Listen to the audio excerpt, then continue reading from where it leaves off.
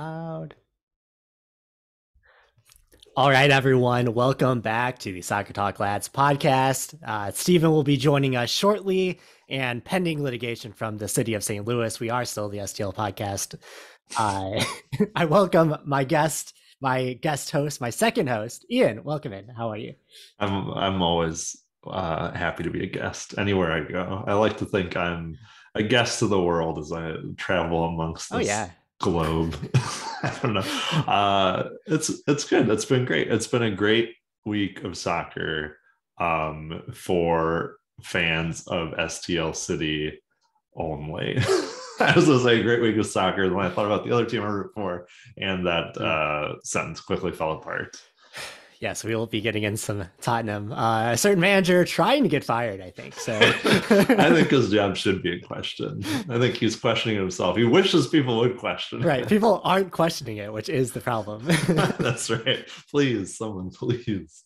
I, of course, am Justin Horniker of the Soccer Talk Lads podcast, of the uh, Find My Riding in Area Sports and STL Mac. So I recapped this game for Area Sports, Ian. So if we want to go back, of course, St. Louis won 3 nothing to be the first ever expansion squad to go 4 and 0 through the first four games and win over San Jose. Impressive. I- yeah. Absolutely impressive.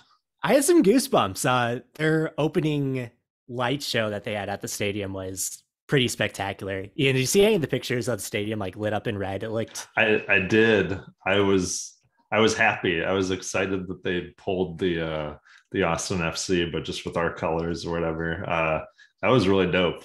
yeah, it looked very Stranger Things, which I appreciate. Oh yeah. I liked they like had Muse music that cued Mm. into that and then very, very um like I don't know, get the blood pumping. It's kind of like yeah, pre-war mu- music going, and I was like, oh man, this is like red alert.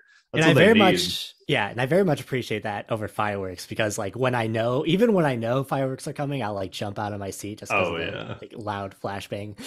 Oh yeah, I could never. I think it was the ambush that did like a cannon. I want to say oh, sweet. inside and scared the piss out of me as a child. Like I hated that thing. I I still remember going to like hockey games and not liking when the home team scored because I'm like this thing is too loud.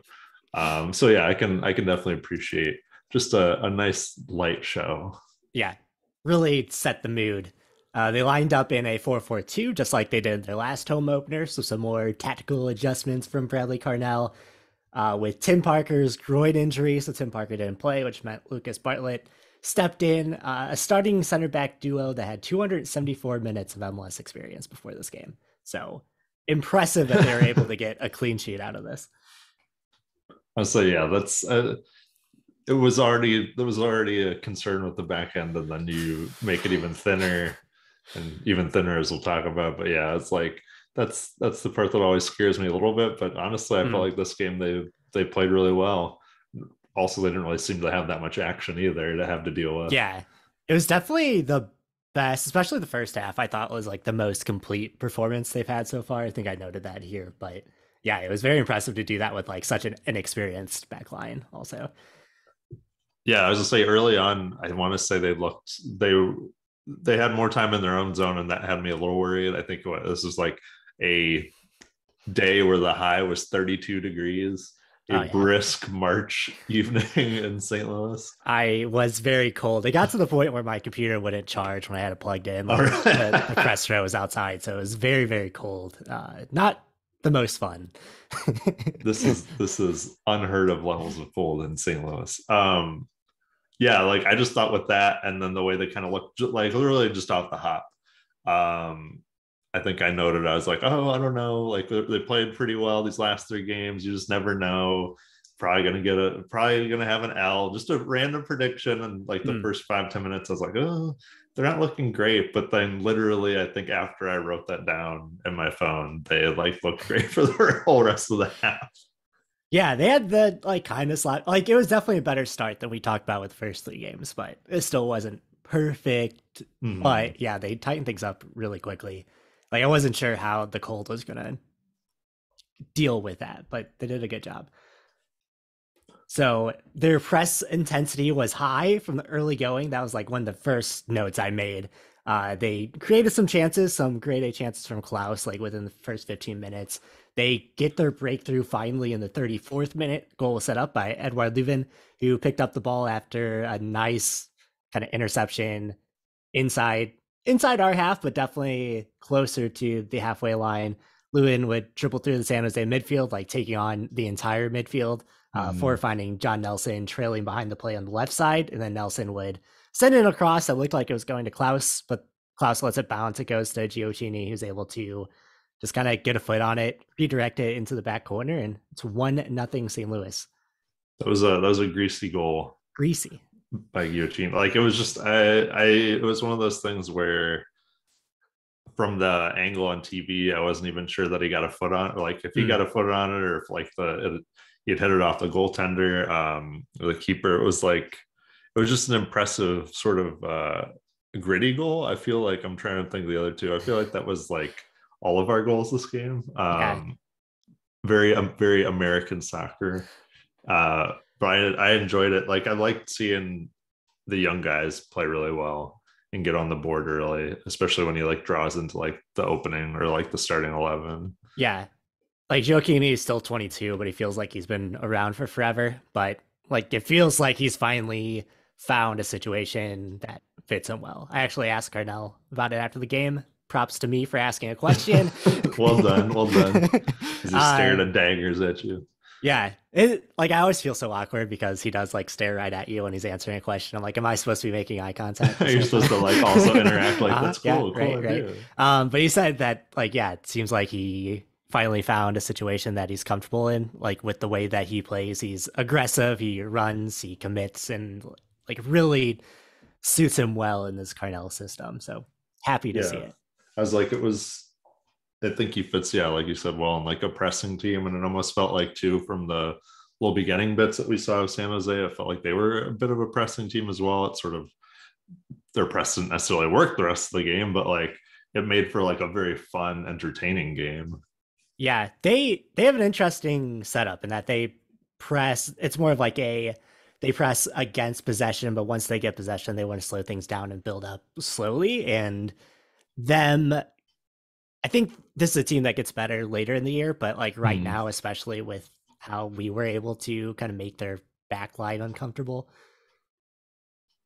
Yeah, it felt like they're it felt like they were never able to really like figure out how to transition up the field. Like mm. it just felt like that City was constantly like stymieing them in the middle. Like there was a lot of midfield play, but it always started going back towards the uh, San Jose keeper, and it was just never really much of any threat that I could see until maybe like later in the second half. Uh, but getting a little bit ahead, but yeah, it was just like yeah. they didn't really seem like whatever strategy they were trying to employ was really working, nor did it seem like they really tried to change it at all. Yeah, one thing I noticed, like especially being at games, you can kind of see from like that higher level a little mm. bit mm-hmm. more. Um, so like seeing their structure and how well structured and like they don't really break down too well. So like San Jose's best chances came from like Espinoza and Cade Cowell just like dribbling through the midfield, but mm. anytime they tried to pass through, like the passing lanes just aren't there. Yeah, it's like this is a really well coached team, or at least thus yeah. far, it seems like they've they've been where they need to be, and there really haven't been any like ginormous gaffs for in, in any of these games. Really, I mean, even with goals against, some of them have just been like really good goals, and maybe just like a lapse here or there, or someone just yeah. being faster than another player. The only time they've really been exposed was that in Austin, that Driussi goal where he kind mm. of like burns Hiebert. But like outside of that, they've and that's the first game, so like you would expect that to be drilled out. It's yeah, it's definitely been good, well organized drilling. Yeah, and we kicked Hiebert into Canada now. Yeah, so, you know, yeah. Now, problem. now he's up there. it's Canada's issue. Goal scorer Hiebert. Put some respect on his name. Oh yeah, you're right. I'm sorry. I'm so sorry. Uh, okay, so they kept up that pressure throughout the half um, into the closing moments where they would force a turnover against a charging San Jose. They were able to come back with numbers, and this is where Klauss just decided that he was going to score. yeah, this so is crazy. He picked up the ball into the midfield. He does like a no leg pass that he tries, and the ball comes right back to him in stride. And he kind of gets there after some interplay with Gioacchini, and he just yeah just runs in towards goal no San Jose defender is able to get the ball off him, and he just slots it past San Jose keeper James and Marcinkowski. He just he's a giant that wills himself. I like couldn't believe this goal. Like he just Yeah. decided it's like one of those goals when a striker just decides, okay, I'm I'm just gonna score here. It was just crazy because of how many like the two or three little bits of resistance he got and still came away with the ball where I was like, oh, okay, oh, Okay. oh, oh my and then he shot it and when I was like, holy crap, this is like what I imagined might happen in my head, but never did I think it was like actually going to happen. Um yeah, another another sort of just like greasy goal that he just willed in. I mean, the finish is great, but like just to be able to get there and like push Hmm. yourself through and will the ball in that position was like insanity. Um, I mean, and I I don't know if it's it's some size. It's a little bit of like he's got speed for a guy of that size is a little intimidating coming down. Like you Uh, don't expect like him to have the speed that he has. I think it's a lot of it. Yeah. You're just like, oh well, obviously he's not gonna, and then he's like by you. Um, yeah, I don't know. He's he's been a revelation. Klauss is just he's. I'm so glad they have him. I'm so glad that there's like someone on this team that's sort of like a weird mascot human Yeah. that's also good because like Löwen's great. Um, I like Stroud and everything, but some of these guys are uh soccer or soccer player Yeah, you need A someone soccer with- player B. yeah, I need someone that's like this. Look at this funky looking dude, yeah. and like, and he's just got like such a fun like personality and like great smile, weird hair. He looks like he's 34. He's 26. Uh, it's very confusing. He's very tall. He runs kind of weird, and he can score goals. And it's like, oh, I love this. I love this so much. Taylor Twellman has been calling him a wounded fawn, and I think that's like a perfectly apt description. A wounded, super jacked, 300 pound fawn. yeah, it just Yeah, like gets right by you. he has a weird gait. Um, I mean, I know it's kind of like we compare him like Haaland a bit, but like there was a guy I ran with in cross country that wasn't quite the same as that, but he definitely had this like falling forward and catching himself gait thing where I was like, Are you gonna slip? Um, and he was really tall, and it was just kind of this like lumber forward, and he was like one of our best runners. And I just remember being Yeah, like, sometimes sometimes you look funky, but it gets the job done. we would always have this debate because I had one of the guys I coached in college had this just like you could hear him coming from a mile away. But there's Yeah. always this debate over like, okay, do you optimize a way that a guy currently runs, or do you try to like change his form? And usually, Yeah. like changing someone's form just like ruins them for the rest of their entire life. So That's so interesting. Yeah, it's like, do I build this from the ground up Hmm. completely and just like fight your brain on this, or do we just kind of like ease your motor skills into something a little better? So what we're trying to say is, Klauss, don't change a thing. Yeah, yeah exactly. You're perfect the way you are. um, yeah, what a guy. He like has totally embraced. I think the way that St. Louis fans just love him. Like every press conference, he's like, "Yeah, I love it here. I love these guys. I love playing here." And then we're just like, "Yeah, Klauss, we love you too." I hope we have good Brazilian food. Do we have good Brazilian food here? I don't know. I feel like not as good as our like Mediterranean food. That's for sure. Look, there are other Like, foods here you can yeah. enjoy. Like Selmir Pidro probably loves living here. Yeah, don't know that. Like, this is your spot. Look at all the Brazilian, the uh, Bosnian food we have. That's right.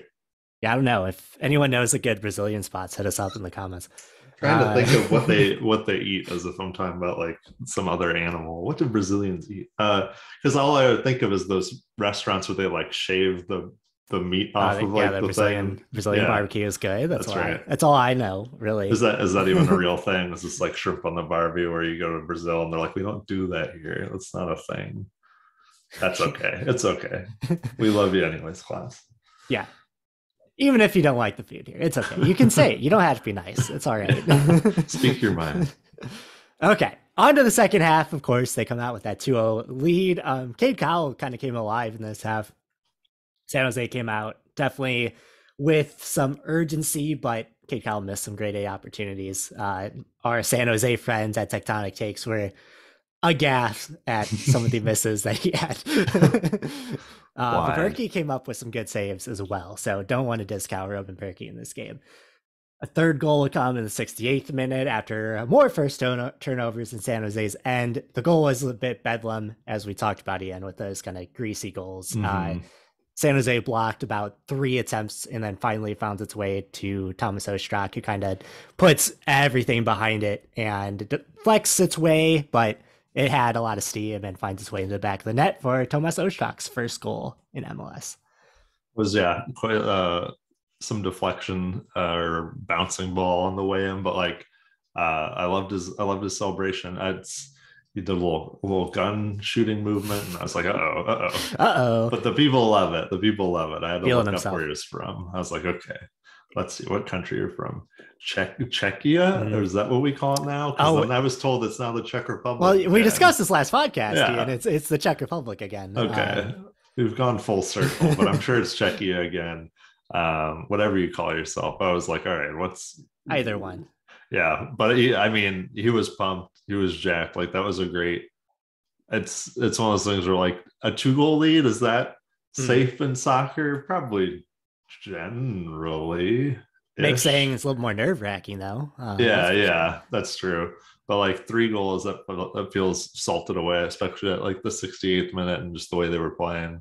Um, he was a was he a sub? Did they put him on later? Yeah, so okay. we talked about this after the game actually. Yeah, because he was subbed in. Um, I have it in my notes that I don't have in front of me, but yeah. So he came in in the second half and he like had a pretty good attitude about it. He said that like, of course, we asked him like how he felt about not being a starter, and he said, of course, I want to start. Everyone in this league wants to start, but had a talk with Coach Carnell. He thought I'd be more effective in the second half, and I trust him to play me where it's best. So yeah, because it's like was, he, has he started the other three? I know he started the third. Yeah, one. so okay. he has been a starter. Mm.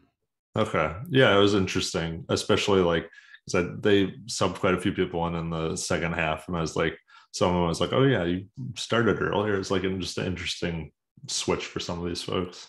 Yeah, he used uh we used all of our subs this game, so that's something I like seeing too. Is I feel like Carnell is very cognizant of like not running people into the ground. Mm-hmm.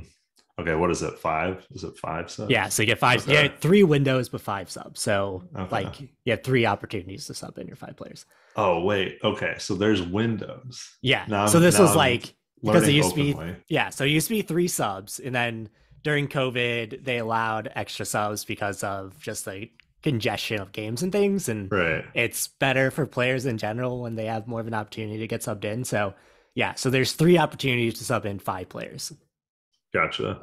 Now your opportunity, can you? How does I've always wondered how does this work? Because the play is never like play is dead, but it's not dead. When do they actually go in? They just it just happens, and I'm like, oh yeah, yeah, yeah. So it's like basketball, if you're more familiar with that. Of like, okay, so you tell the fourth official they got some subs ready, they come in, they report, and then the next stoppage will play. They okay, okay. So gotcha. Because yeah, every so often I'm like, oh wait a second, he's running in now. What's going on? Every so often, I literally, even though I know there's like 15 minutes left, they'll put mm. the they'll put their little board up, and I'm like, "Is this extra time?" And I'm like, "No, you idiot! There's 15 minutes left. This is a sub." it's a good sub. Yeah, we like those late game subs. So yeah, so I thought like second half wise, it wasn't as pretty as the first half, but the first half was like a perfect game of soccer. Mm. Um, and most of the that can be chalked up to the game state as well. When you're up two goals heading into a second half, I think it's always going to be harder to play perfectly when the other team's pushing that hard. They took a lot of advantage of sloppy mistakes from San Jose's backline, and they I thought they could have had two more in those closing stages too. Um, there was one where, like, I think Adeniran was trying to like he had a couple of runs where he almost made it happen on his own, and mm-hmm. him and Gioacchini had some good interchange. So, yeah, I thought they closed out this game really well too. Adeniran, that's that's somebody I was thinking as a sub that I was like, man, he's he's also a big dude, and I just find like his skill set to be very interesting. Yeah. Um, I mean, just like I I want to see more from him. I just wonder is he always gonna be relegated to being like a sub? Is it he just younger? Like how does that work exactly? Is yeah, just... I think he's like him and Klauss. I think, have similar skill sets. Obviously, Klauss is much more refined at this point. Mm-hmm. Um, still kind of a raw product, but like I think they obviously like him because he's a hard worker. He has speed. He has that like physical presence. So mm. like he probably could start here and there, like as we get later in the season, as minutes get easier to come by because things are more congested. Like I think he has the trust to play important minutes, but like obviously he's not at that quality and at that like level yet. Right. Yeah, it's just interesting whenever they sub him in. I'm like, he just has such a physical presence. Like you said, has like is almost able to will some of that stuff to her. I was like, man, this is like this is very interesting in terms of just like him and Klauss and how they compare to other players or maybe more traditional looking built soccer players. So mm. it's like I've I've found every time they put him on to be kind of like my eyes drawn to him.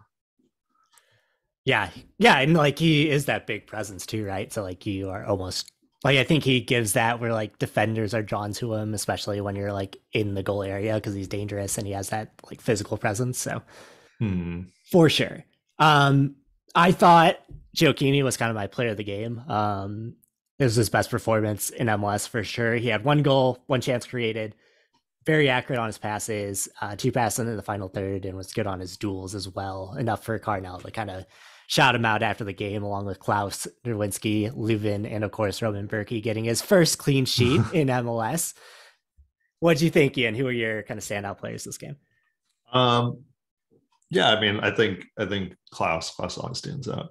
Um, okay, I'm gonna want to get this right because I feel like my brain always boxes. How do you pronounce Gioacchini's name? Is that it? Gioacchini? Gioacchini. Gioacchini. I believe. Okay. Don't you? We need to ask Steven because I'm no, not. No, Steven doesn't know. Steven doesn't know. he says he knows, but he doesn't know.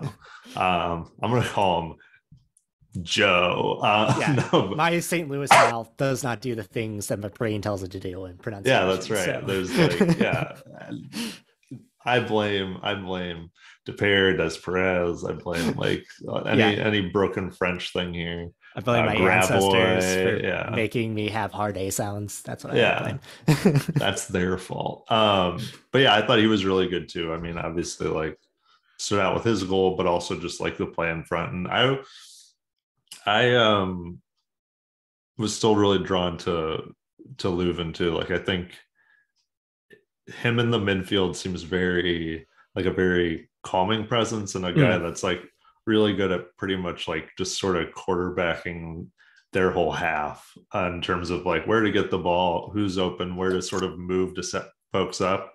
Um, I think he's just been like a really big key to like that whole middle of the field working. Um, I didn't see, I didn't, Stroud started, right? I didn't feel like I saw as much from him in this game, or like in terms of like, I think the last game he was like all over the place. Yeah. Um, I was trying to work through. It. I I haven't liked um, or was it Indiana Vassilev?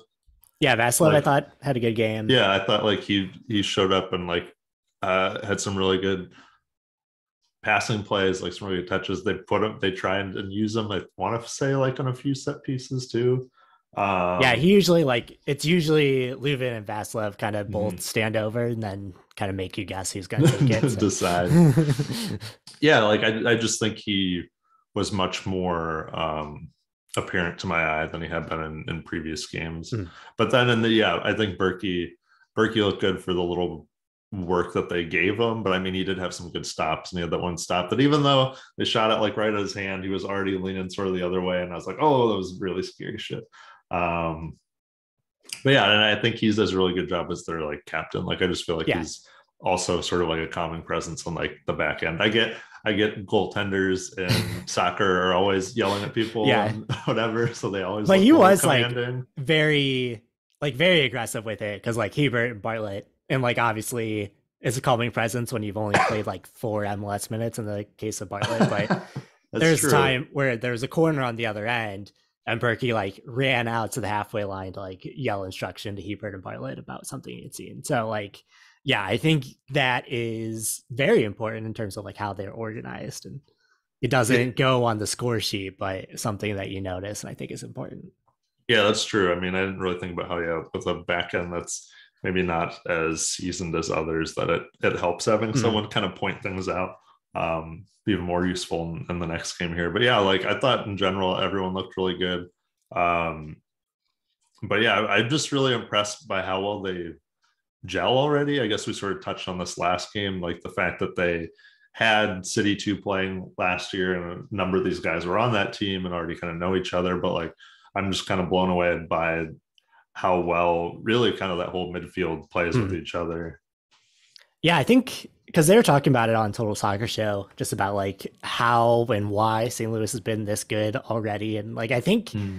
in my mind, that's a lot of it because they talk about it because Carnell mentions it all the time about how comfortable everybody is with each other and like that next man up mentality because everyone kind of knows what they're supposed to do and where they're supposed to be. And I think that's important because they've like installed a coaching director and they've installed a play style from the very get go. Here we are. Yeah, I think it's like they're they already had a structure there and they can just like play through it and live with it. Um and yeah, they're kind of like one of those teams where like the they're greater than the sum of their parts. Mhm. Um and but then they have but then you know to to not take down any one player, but like those parts that they have are still pretty good. Like Klauss is Klauss is Klauss. I gotta explain who Klauss is. Um, Class is classy. that's right. Uh, here he our is. resident Florida man, Stephen Ground, checking in. Stephen, what did you think of the game? This is what this is where we're at in the podcast, by the way. Start from start from minute one. Can Yeah, you go start from minute every- one. Can you go through every goal like we just did? Uh, I mean, I thought it was great. It was cool to see them just uh, dominate the whole game, pretty much. I feel like each of these wins has taught us something a little different about the team. The first win taught us that they are incredibly lucky. The second win, um, you know, each one showed us a little more, a little, little bit of ability to fight through adversity, a little bit of a different look, and and this one, you know, whether it was the elements or you know the travel for San Jose or whatever, it just they were not not in it really from the very start. I mean, there were some early moments that things could have been a little different, but really, when you look at the the sum total of the game, I think we were by far the better team, and that was cool to see. And uh, Klauss with the greatest uh, run of all time, the greatest sprint to goal, and I would say entirely intentional and deeply Yeah. well coordinated. It was a no look pass, but he knew where it was going to come. Yeah, he, yeah, it was yeah. coming back to him. He, he didn't need to look because it was him that was receiving it. So, you know, um, yeah, I mean, I thought it was great. I thought it was cool to finally get the clean sheet, cool to get the win. Obviously, incredible to set the record for opening wins by a um, expansion team. You know, Take I don't wanna read, I don't Yeah. want to read too much into that, but it is still it is still cool, and we should extend that record by beating uh, Real Salt Yeah, Lake this week. And for reference, Seattle won the U.S. Open Cup and made the quarterfinals of the MLS playoffs that year. So, So that's all we got to do is That's be right. better than all that stuff. right, right, You know, That's and we're should be no problem. no problem. All right, so now we have Steven's input. Look ahead to the Real Salt Lake as we head to Utah. We'll try to keep our Mormon talk to a minimum, but I have no, I have no promises here. I have, I have not made that commitment. That is a jesting commitment. Steven's looking at a book entitled Old Gods, so I don't know.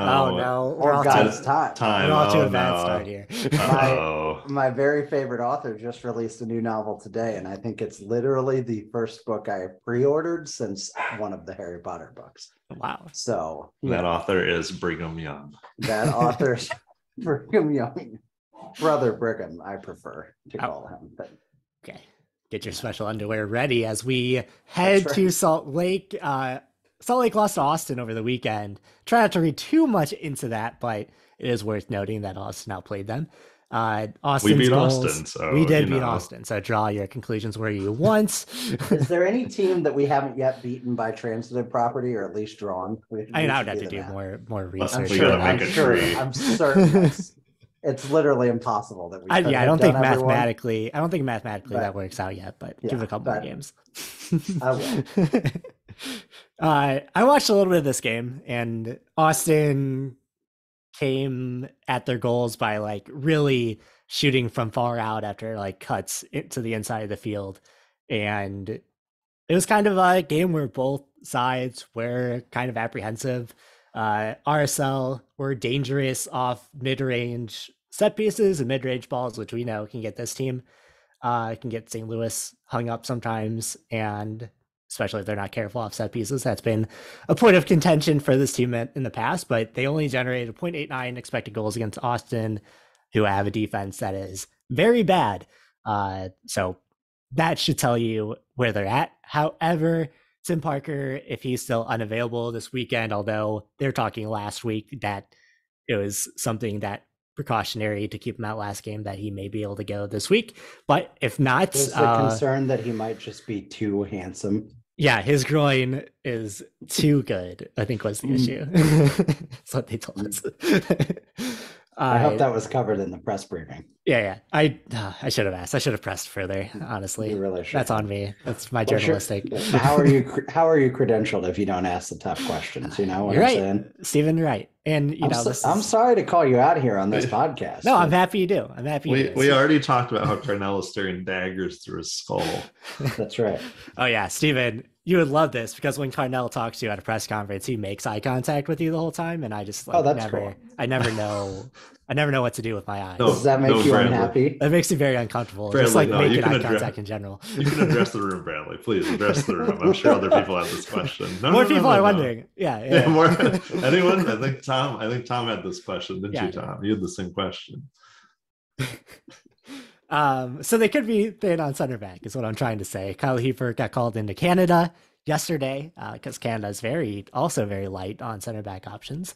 And we now have Josh Yaro and Jonathan Bell as our two other center back options. So that Nice. could get dicey potentially. You could get dicey, man. This team's unstoppable. I was say I want I my insides want to doubt this team's back end, but the, thus far, Right. They started a defensive pairing that should not have worked last game, and they got their first clean sheet of the of the year. So who am I? Who am I to say? Maybe Uh, the more that we get run down, the better they are defensively. can you be, can you do anything better than a clean sheet? Can they have a negative one goals? now? Yeah, yeah, Yeah. We can we can force them into goals, which I guess is happened already. Maybe maybe this team just knows how bad the back end is. So like we just can't let the ball. We just can't let the ball get that far. Yeah, I think to be serious, it does speak to their structure of like how well they how good they are at limiting chances, but we can read other things into that too.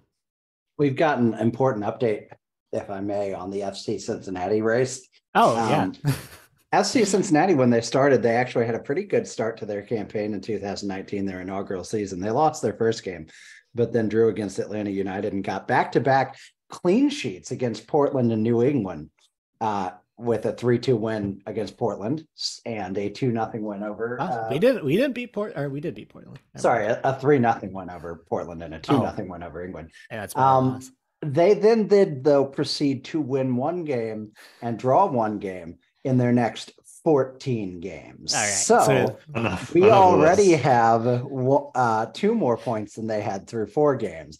And as long as in the next 14 games we don't, we add more than two points, we'll stay ahead of them. So, I need to be careful because the karma train makes it seem like we're going to lose the next 14 games, and I just No, I can't, can't I can't deal with It's that. I just. I cannot deal with that.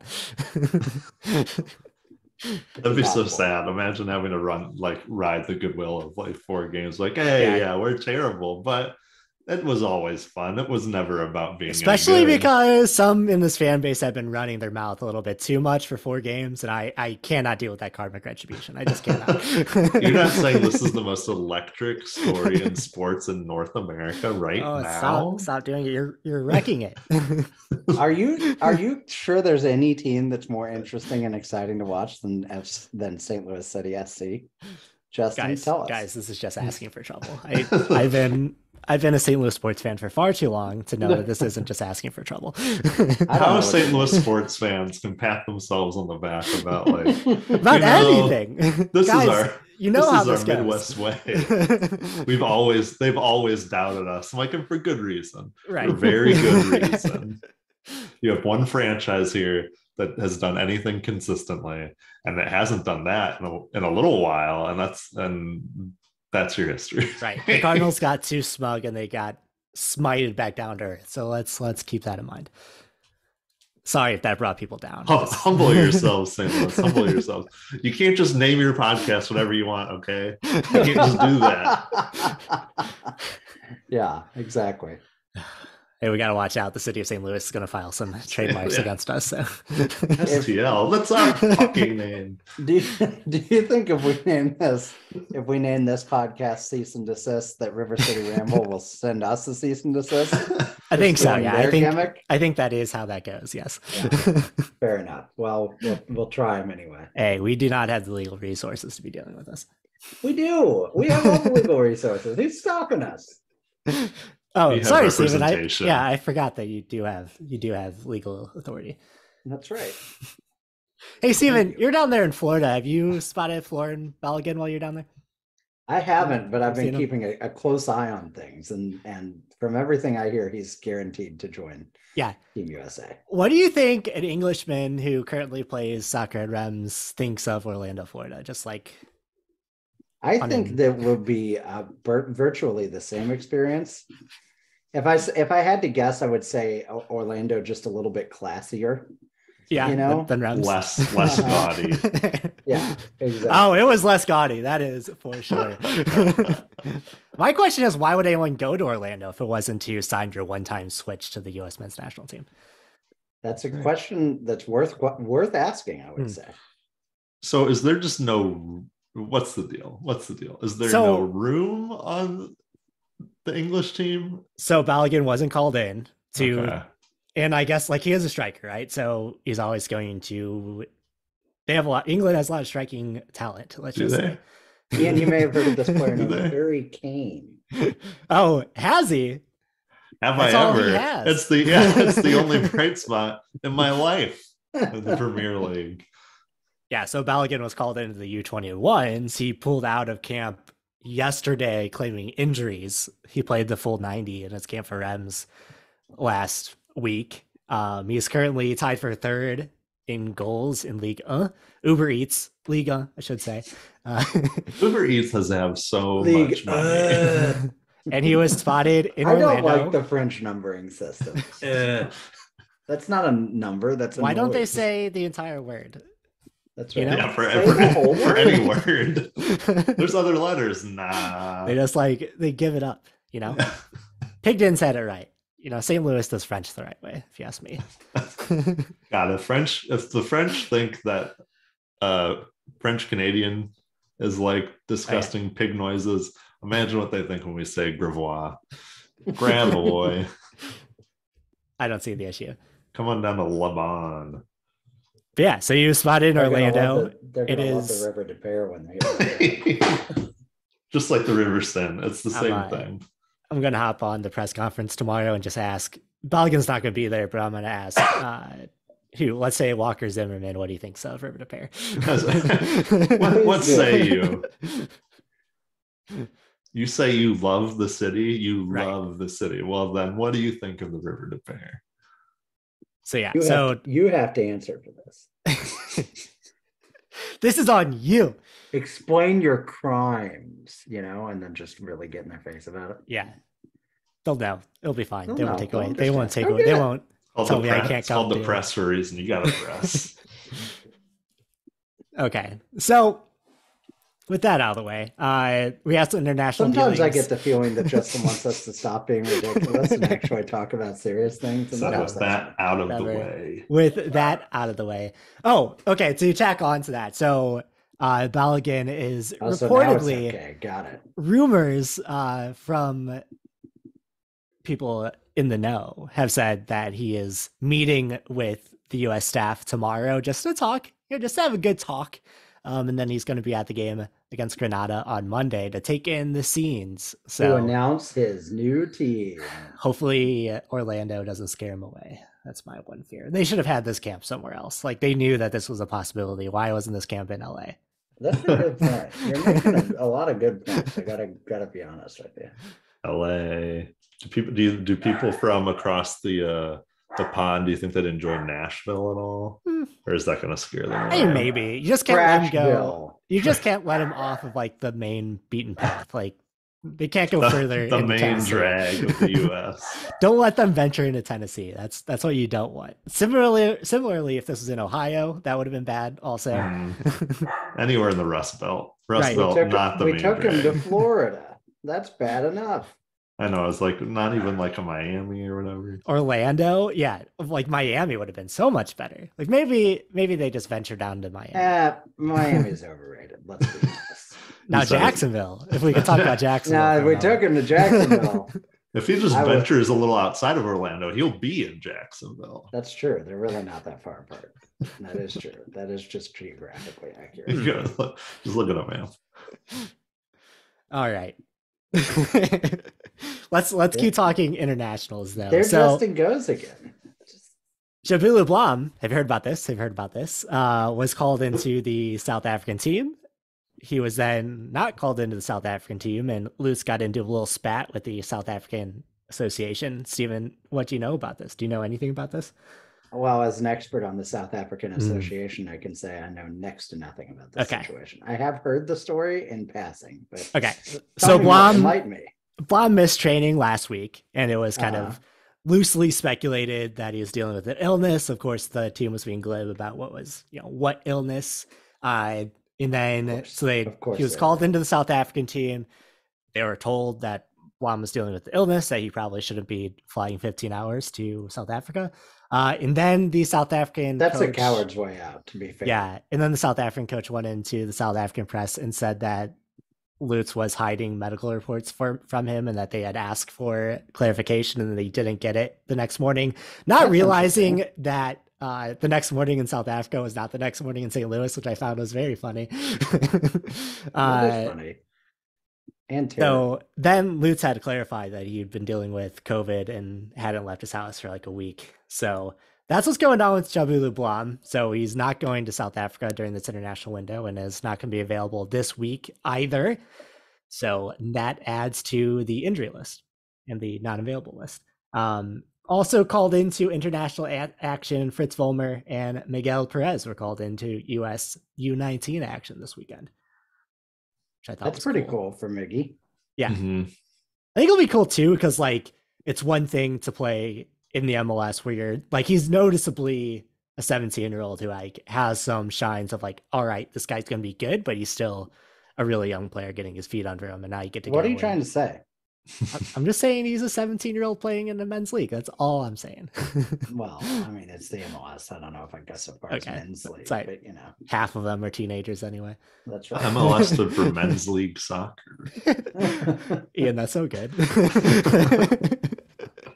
This is for men. how have we not thought of that before I don't know. Men's league soccer, soccer.com, baby. Yeah. Well, that's what I got for international soccer. Um, there were some other things that happened in the world of football this week that really drew our attention, uh, especially from the man sitting in St. Louis, or I guess Baldwin, right now. Uh, Ian, did you catch- Allegedly. Sorry, I didn't mean to out you. Uh, my my my uh zip code straddles two cities within the county so who knows which i exist in my own my the internet doesn't know when i order things so it constantly tells me i'm in the other one the internet made up the city of Concord that tells me that my parents live in. I do not believe it. So don't don't trust everything you read on the Oh, internet. so suddenly it's Uh-oh. okay I viewed 'em. to I viewed 'em. suggest the Move on, move on, move on, move on, move on, move on. are made up. Suddenly, this is just Move on. fine. Ian, Well, Ian, go ahead. You gotta, you gotta talk about Conte. interesting revelation. I'm gonna keep that on the back burner for Ian, now. we gotta talk but- about Conte. Uh, don't let Steven derail yes there's a conundrum there's a different conundrum of the conte variety um yeah so spurs who is a team that is middling but not actually middling but middling because they should be like a top 16 but they're very middling top 16 um they They're drew in fourth place where Spurs, I think, belong uh, Well- as a as a ethos. I think they live for fourth place.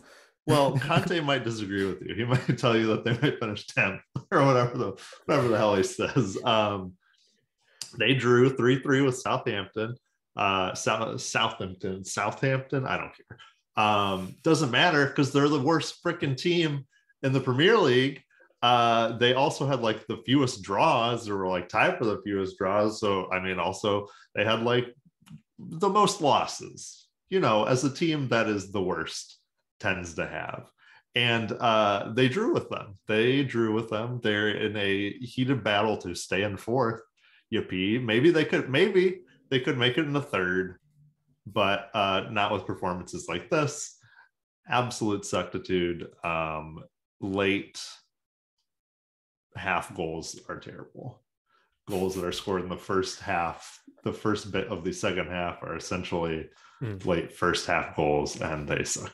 Um, extra time should not exist. It should just be over 90 minutes and it's over. If you're laying down too long, I'm sorry, that's your fault. There's like a growing state of discontent. Like FIFA has mentioned that they would like to have like stoppage and play when the ball goes out, and like unanimously, everyone in England was like, "No, we can't do that." but why? Why can't you do that? It gets I- rid of like 14 minutes of stoppage time that you have to have now if you're keeping. Yeah. I'm like if you want to do that, that's cool. Just don't have the don't have stoppage time then. yeah. But I do kind of enjoy the drama of like, oh well, this is going to be seven minutes, and they're like one minute, and you're like what, or vice versa. The Like, like not knowing how much time is on the clock Yeah. too, like when you're there in the stadium, is kind of crazy. Oh yeah, yeah, yeah, that's interesting too. So they don't put that on a clock. They're just like, hey, did you catch the guy, the little tiny man down there with the number? Yeah. thing? Did you not see that? Oh well, then good luck. I don't know. Maybe we'll blow the whistle. Oh no, not so much. I guess five more set pieces. Um, yeah, three three draw to the worst team in the league. Uh, Spurs fans weren't happy. Conte wasn't happy. That made sense, but Conte was more than unhappy. I mean, this is a six goal game. That is like Conte's nightmare. Six Yeah, goals that- in a game. this is true. This man was irate. He saw too many scoring opportunities, too much actual scoring all over the pitch. He said, None of this. I don't care who's scoring what goals. This is too much. Um, yeah, so he kind of went off. Excuse me. I'm not going to do an accent because that would be racist. Um, so I'm just going to read what he said. Uh, he said, Tottenham's story is this 20 years there is owner and they never won something. Why? Uh, Spurs led by two goals uh, at St. Mary's, but conceded twice in 15 minutes. He said the fault is only for the club or for every manager that stay here. I have been the manager that Tottenham had on the bench. You risk to disrupt the figure of the manager and to protect the other situation in every moment. He said, until now, I try to hide the situation, but not now because I repeat, I don't want to see what I have seen today because this is, and I will say this, this is unacceptable. he knows he's the manager, right? Unacceptable for the fans. Yeah, I'm like, this is your team. he knows know he my can dog- change that. My dog fucking hates Conte. Um, he says there. So here's the point: there are ten games to go. He says, and some people think we can fight. Fight for what? With the spirit, this attitude, this commitment. What for seventh, eighth, tenth place? I'm like, whoa, buddy, whoa, pump the brakes. We're Someone told Conte they're in like 14th place before this game, I think. I know. I'm like, hold up. Let's just try and stay afloat in fourth. That's really that's the the Tottenham coup de grace is really like, hey, fourth place is first in our hearts. Uh, but he says no, we might suck even more than that. He said we are 11 players that go on into the pitch. I see selfish players. I see players that don't want to help each other and don't put their heart in. I'm not used to this position. I'm really upset, and everyone has to take this responsibility. Um, I can't say that I disagree. I am also very disappointed. I also think this is unacceptable. Um, but also, I've, I don't know that I've ever seen a coach quit on the team. I don't. I think this is new to me. I mean, I've seen coaches angry. I've seen them do the whole flabbergasted. I don't know. You go ask. Go ask them. I don't know. Go ask them. But then you know they'll all like two seconds later, like, yeah, we just gotta you know gotta pick ourselves up by our bootstraps and we'll be fine. Uh, he he quit on this team. Players quit on coaches all the time. I've never seen a coach just go, "F it." You know what? I'm not gonna leave, but please fire me. Just get me out of here. Um, I it's it's crazy. I feel kind of bad because I, from what I've read, I don't necessarily know that it's going to be like a lot better without him. It'll be different, and maybe it can be better. I'm not saying that he's like the best coach ever, but it seems like there's a lot of problems above him within Spurs management wise um, that I have to wonder if he's just a symptom of some of this. I mean, he has he has a pretty strong personality. I get that these sort of outbursts have happened before, but maybe not quite to this magnitude. And that's part of him as a coach. That's just who he is when you hire him. But this was definitely like a nuclear bomb when it comes to like a coach is going off on his own team. It's like trying to get fired, like actively hoping that he comes down and fires him mid rant. Yeah, he says, "Please question my job. My job is should be in question. Please, for the love of God, question my job." Um, is that Mike Yeo? that is that's, that's Mike Yeo's message. Um, I was looking up articles for this, and I guess it's like without being a him being officially fired, they're like, well, when when does it happen? Like, is it tomorrow? Is it? I mean, Justin, is he going to make it to the end of the season? I mean, there's like ten games or something left. I'm pretty sure. Like I, so from what I know about Spurs, and like Pochettino had a lot of the same gripes that Conte has, obviously voiced in a different way. But my understanding is that like they don't usually fire coaches, like especially on short notice. So like you almost do wonder. I know there's a lot of speculation of him like being gone, and like there's that article that said Tottenham players expect him not to be back after the international break. But I kind of am skeptical that Levy would fire him and have to like bring on another manager. I don't know. Like they're hmm. still in the Champions League spot, so can you fire your manager when you need to win games still? yeah, but I'm also like, how do you like manage this team now? Like through some, you're there, but it's like through someone else. You're just not fired, but it's like, are your assistants just doing all the talking to the players? Because it's like, how do you? I'm not even necessarily saying it's wrong. Like some of these players did look like dog shit, but I'm just like, but how do you? How do you just you can't say that. that bridge? I just can't fathom it unfortunately for Tottenham, uh, Sean Dyche does Mm. currently have a job. That's true. However, you know who doesn't? Big Sam, Big Sam Allardyce, free agent. He's going to come in and save this team. he's good at keeping teams out of relegation. Is he good at keeping teams in a Champions League spot? Absolutely not. That's the best part. Maybe if we told him it was like relegation. yeah, if you like if higher you up. Drop to sixth, you're getting relegated. Actually, those are the new rules. yeah, he goes, oh shit. Well, in sixth, yeah, in fifth we will stay then. Um, it's just disappointing, especially given the fact that they could at least like make it into into third, or like the fact that this whole season they could have won a, a handful of games here and there and been in the conversation for like being at the top. Maybe maybe not necessarily this year. Arsenal's pretty good, but um, it just for what they have it's disappointing to think that you have a manager that's still there that's like, I ah, just F it. You know what? I mean, maybe they maybe they rally around this and they play good soccer.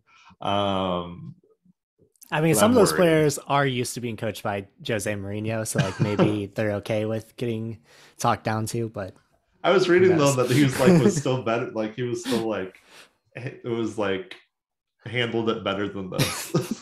If you're handling players worse than Jose Mourinho, that that's saying something. I think that's what I was reading before. Like, yeah, I didn't think this could be worse than Mourinho, but like, I think it's worse. So like, Oh, I don't think he actively like outwardly in the media like hated the players. because Jose told Dele Alli that like he should play like his brother, who was like a bench player for some other team at the time. that's now that's the kind of sass I like. Bring that guy back. Get him out of freaking Italy and bring him back. I say. Um, Would that I be don't great know. if they just like alternate between Mourinho and Conte for the next few years? Yeah, great. Um, who do they? I was just trying to remember. They play Everton. Okay. Oh boy. Yeah, so like they're essentially battling Manchester United Speaking and Newcastle, potentially Liverpool for that fourth spot. Shut up. We don't need to talk about Liverpool. Nobody mentioned Liverpool. okay. Okay. he added you into the conversation. Um, Steven, ask. Steven has left the chat. that's right. Ever, Everton again, a team you should beat, and I'm like, maybe now Everton. Like, what is this? what are their goals? They have like they scored no goals. They've scored 22 goals. This is like what tied for worst in a four-way tie, and a four-way tie for fewest goals scored. And I don't know, maybe they score like four or five because like who knows? Who knows with this team and this coach and the morale or the lack thereof uh, that they'll have at that point.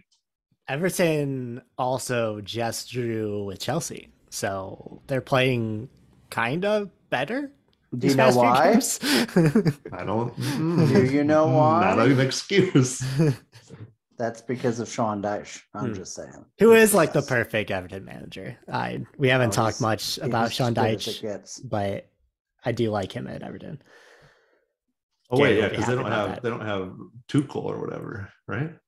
They never had Tuchel. Chelsea Didn't they? Tuchel. Oh, Chelsea. Sorry, sorry. Yeah, yeah, yeah. They had they've had a little bit of a revolving door of managers past They few had years. Braj most recently, right? no, Or is, is that not their most recent? I no. Well, they had um. Oh, why am I blanking? We're all learning about Everton's coaches. you guys have made me just completely Does forget. Garrett Garrett listen to this podcast? He's probably yeah. screaming. He is. He really is. Hi, Garrett. Scream louder. well. Louder. Scream so loud we can hear you. What does it say that we have zero knowledge about who is coached? Okay, okay, okay. Frank so Lampard. Lampard. Frank Lampard. Frank Lampard. So yeah, Carlo. They went from Carlo Ancelotti to Rafi Benitez to Carlo Enchilada. Frank What?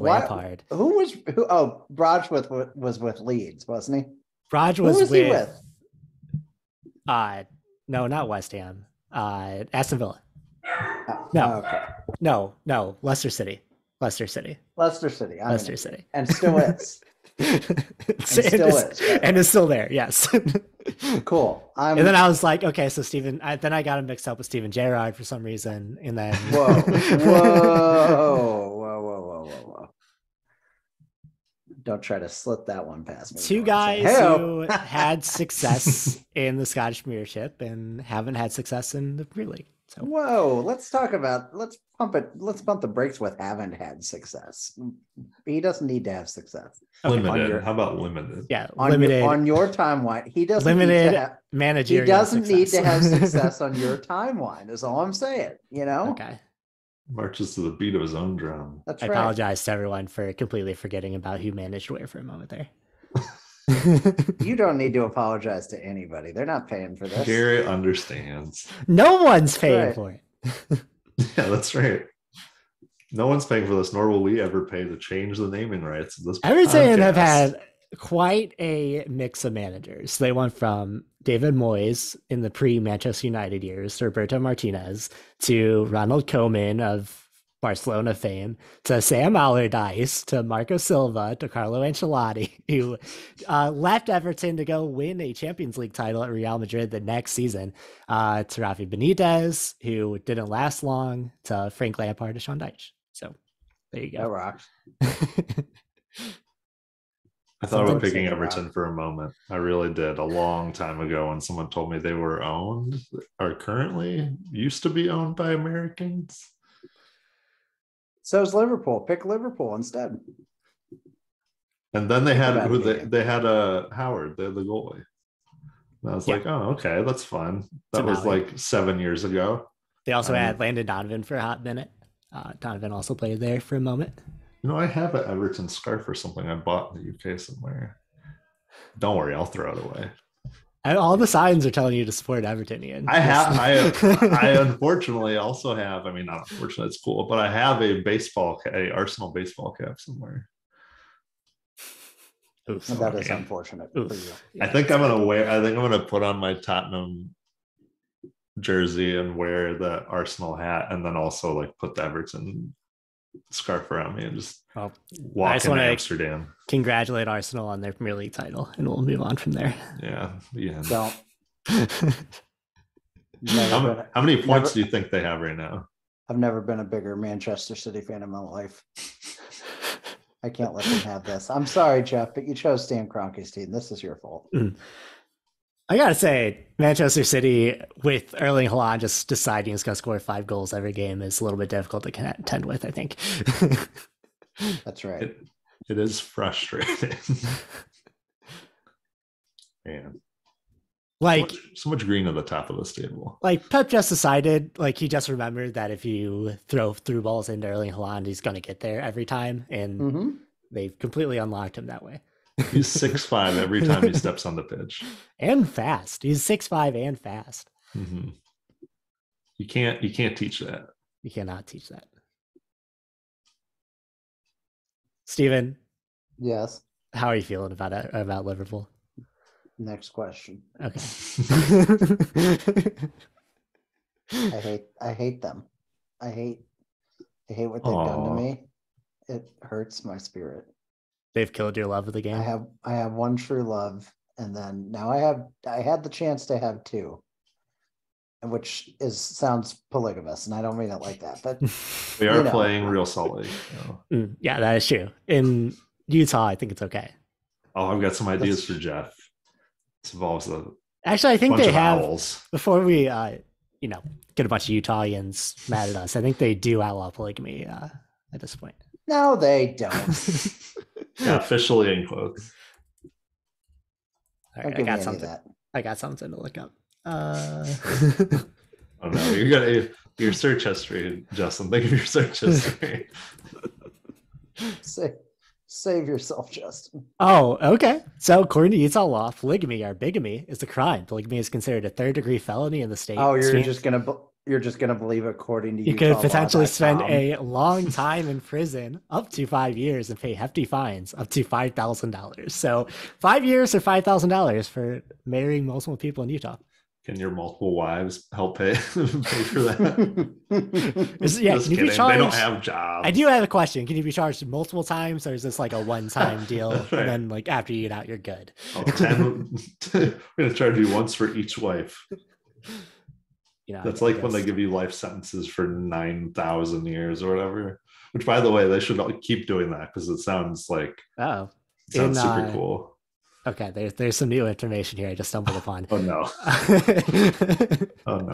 In 2020, the Utah legislature passed a law to decriminalize polygamy, reducing bigamy among consenting adults from a third degree felony, punishable by prison time, to an infraction on par with a speeding ticket. Oh my god! so don't get caught. Uh, being You might have to pay a hundred dollars unless you dispute it in court and they don't show up. It's been a felony since 1935, uh, and they so a little bit of fake news there for our Utah That's In No, now. case, case you live there and you don't know. If you were in Utah and you came to this podcast to find out if you can get married, You may be in for a shock. people at the same time, we hope you've listened this far because we don't want you to get confused. yeah, really buried and bleed. We're gonna make you listen to the whole thing to get the information you need. That's that's called clickbait, baby. I that episode title is "Polygamy is not okay." Still, Ian, watch yourself because that could be the episode title. Polygamy right. Since not we, okay it might even be the name of the podcast, since we are currently That's right. pursuing litigation with the city of St. Louis. For That's right. oh no, I'm not gonna do it. I'm sure there's polygamy podcasts. Do it, Ian. Look it up. No, I want to. You- You keep my search history pure. You and me and Mary makes three, the most famous polygamy podcast on the internet. Eileen asked you, why were you searching polygamy podcasts the other day? one one guy, three wives. That's right. If they're gonna make shows about it, it can't be wrong. That's actually the new podcast hosted by Jeff on the uh, on the podcast network. That's That's right. That's right. Welcome to the network. That's that's what I said to my third wife. Uh, Justin, are you enjoying yourself? oh, I Are am. you, are you are you sad about we, what we've done to your podcast? I mean, we have made it through the itinerary. So we were uh, talking so much hardcore soccer until Steven jumped on. that's right. Stephen really derailed the conversation. Um, you're saying I ruined it? Cool. I love being the guy that ruins stuff. You just bumped it up to eleven. Hmm. Me and Ian don't have as much silly energy, I will say. So you really helped out in that respect. That's right. This know one's silly, the other compliment one's silly. Mm, mm. And you're you're involved in both. Oh, Steven, it's a compliment. I love having you on. I love that you're a guest for this podcast, just like Ian. I introduced Ian as my guest earlier. I'm his guest host. I just completely went absent-minded. Um, all right, everyone. I guess uh Ian, Steven, do you have anything else to say on this Yeah, I lovely have podcast something to episode show you, but I need you to stall for like 90 seconds. Okay. I'll uh, I'll go ahead before we get gonna be to like, you gotta t- you gotta promise me you don't tell the cops that I show you what I'm everyone, gonna show everyone you. turn on safe search. Everyone, please open up the incognito browser. while while Steven goes into his Tor browser, I will uh if you like this podcast, let's just plug some things. Make sure you give us a like, Yeah, give us a some rating plugs. on where you are listening to this podcast on. We love to have ratings. Um, That's right. you know, if you're if you're on the YouTube, subscribe, give us a like. You can check out some of my writing I wrote for my preview, and I'll have a review. I guess I, I mixed that up. I have a review and I'll have a preview for this weekend's matchup at Area Sports Network. And I also just recently released a article explaining the Njabulo Blom situation for St. Louis Mag. So you can check all those out there. Check out the Two Guys One Cup podcast that my other Oh, oh, beautiful thank you. We're co-host hosts. We're humbled. Thank you. and uh, You think Tottenham's bad? Just kidding. Oh, that's so mean. Oh, that's mean to all, everyone involved. That's We mean to only had- Tottenham. we only had one hockey reference, and it was done by me this podcast. So I'm I'm That's true. very. I- well, to I fair, made notes. Ian, Ian was, to. I made note not. to be fair, Ian's reference to Mike Yo was pretty transparent. No one else knew. Justin, you've I know. disabled you've disabled screen sharing, so I can't show you what I want to How? show. Okay. How we did got I disable that? I don't I know don't how know, I but it's disabled Close the that. Zoom call. Um. Says the host disabled Zoom sharing, and I'm I- I promise I didn't. host. Oh wait. All Oh, participants. you. All participants. Oh, let's see what can I share. Can you Oh, share? sh- oh, shit. I lost a headphone. Ah, I think I made it open. I think I did. Oh, Nope. all participants. All participants. Just switch, We're to, switch to all guests. Oh, here we go. Here we go. All right. you tell I me got it. when, Justin. You tell me when. All All right. right, hold, hold Try on. it my now. Computer, my computer's moving very slowly. So bear with me. oh my god, it was like Welcome to to- earlier. Three guys, one Zoom. Uh, this is our upcoming Is your after show. is your printer on the fritz? Uh, yes, Have you bought any new toner? Welcome to tech I love toner. What Oh, does toner do? by while the way? Stevens, while Stevens figuring this out. Oh my um, god, work. I was I visited my grandpa before Yeah, I came back to exit Kansas City, um, and Uh-huh. he bought a Soccer for Dummies book to better understand uh, Oh, that's so games. cute. So That's thought the it was- most adorable thing I've ever heard. the best thing in the world. I was like, he like wanted to show me that he had this book, Soccer for Dummies, so he could better understand. Go. All right, Grandpa, are there's only two ready? rules. yeah. All Are right, you Steven, guys I'm ready? ready. I'm ready. Oh, I guess. This is a very rough version of something that we're going to improve and then publicize. Are you ready? oh yes, no, there you said is. we're gonna publicize it. Look at this. Oh, at this. Wow. Steven's Look at this creation. at work. the Cincinnati Index coming live. The Cincy Index. That's the word I was looking for. Thank you. That's a much better name. Uh, or I would also settle for the campaign to sh- shame and humiliate FC Cincinnati as to give a nod to Parks and Recreation. But this is where we're at. All right, through four Mm-hmm. games, they have seven points. We have twelve. But now, but from here on out, this is for this line's pretty much just going to go like this. so we've got a good head start here. and our line, if our line goes up here next game, then we're we're made. we're we just golden. need we just need one more win or two more I wins. I don't right? like all the pressure we're putting on this team.